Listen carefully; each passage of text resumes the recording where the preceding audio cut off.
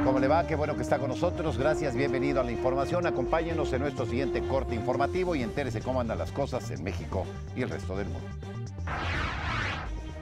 La explosión de gas registrada esta madrugada en Huehuetoca, Estado de México, ya fue controlada, informó Protección Civil. El incidente se debió a una toma clandestina. No se reportan lesionados. Durante el mes de octubre, la economía mexicana alcanzó un crecimiento a tasa anual de 2.5%, informó el INEGI. El Instituto Federal de Telecomunicaciones licitará 115 frecuencias de radio y espectro, esto como parte del Programa Anual de Usos y Aprovechamiento de Bandas de Frecuencia 2015. El jefe de gobierno del Distrito Federal, Miguel Ángel Mancera, nombró a Eduardo Robelo Pico Contralor General del Gobierno de la Ciudad de México en sustitución de Irán Almeida.